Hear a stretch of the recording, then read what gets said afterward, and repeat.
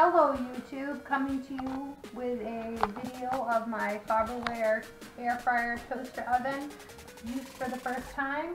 So we're going to go ahead and hit start, which comes right up to air fry. I'm making some french fries today, so tells you to set it for 375. So you just turn that, you hit start, you'll hear the van come on,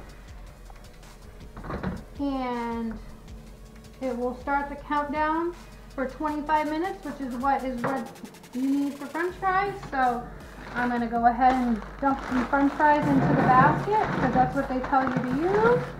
And let's see how these come out for the first time. You remember to use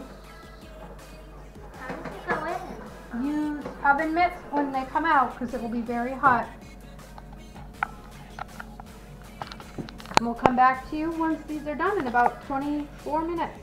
Hello YouTube, taking out the french fries I put in earlier in my air fryer after using it for the first time. They look pretty good. I